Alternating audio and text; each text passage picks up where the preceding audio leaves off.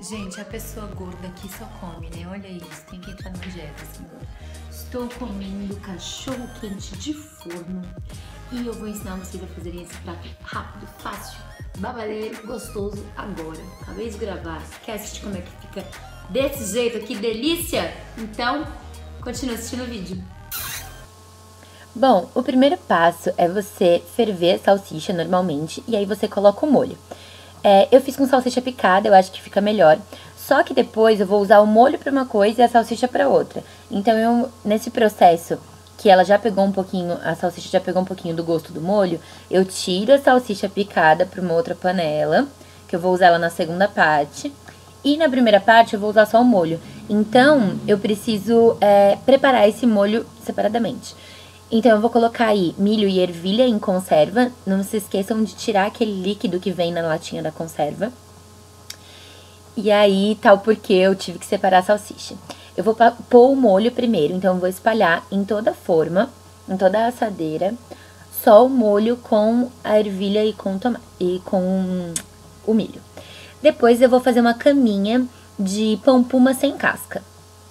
E depois eu vou colocar a salsicha picada. Então, vai ficar como se fosse um sanduichinho, assim. E aí eu vou espalhando toda a salsicha, por isso que eu prefiro picada, eu acho que espalha melhor. E depois a última camada eu vou fazer de pão sem casca, mas com requeijão. E por fim, eu coloco a batata palha em cima. E aí depois, fica a gosto, mas eu curto colocar queijo ralado também, então eu salpico o queijo ralado em cima, coloco um pouquinho de salsão. Gente, isso dá um gostinho, delícia. Salsão você acha em hortifruti, mercado, é só picar bem lavadinho e colocar em cima. E eu também vou usar essa pimenta bico doce, que ela não é ardida, pelo contrário. Ela é meio docinha, assim, sabe? Fica uma delícia, dá um toque todo especial. E aí eu vou colocando em cima, mas se você não quiser não tem problema, mas experimenta com a bico doce fica muito bom. E agora é só ir ao forno, eu coloquei aí 180, 160 graus. E depois de 15 minutos, tá prontinho o seu hot dog de forma. Ai, gente, fica muito bom. Depois você pode colocar ketchup, mostarda. Hum, e aí, curtiu? Hum. Falta de educação pela boca cheia, né? Se você gostou, não esquece de dar o seu like, se inscrever aqui no canal. E não esquece, hein? Tem vídeo agora toda segunda, terça, quarta, quinta e sexta. Cinco vezes na semana.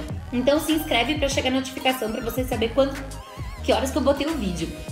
Porque tem vídeo todo, todo dia da semana, né? Durante a semana. Mas cada, cada dia eu posto num horário diferente, enfim.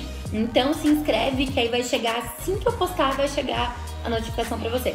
Beleza? Aí você fica por dentro de tudo. Comenta aqui embaixo o que vocês acharam dessa comizinha que eu ensinei. E se vocês gostarem de dicas de culinária, pede aqui mais vídeo que eu sempre faço, tá bom? Hum, hum muito bom.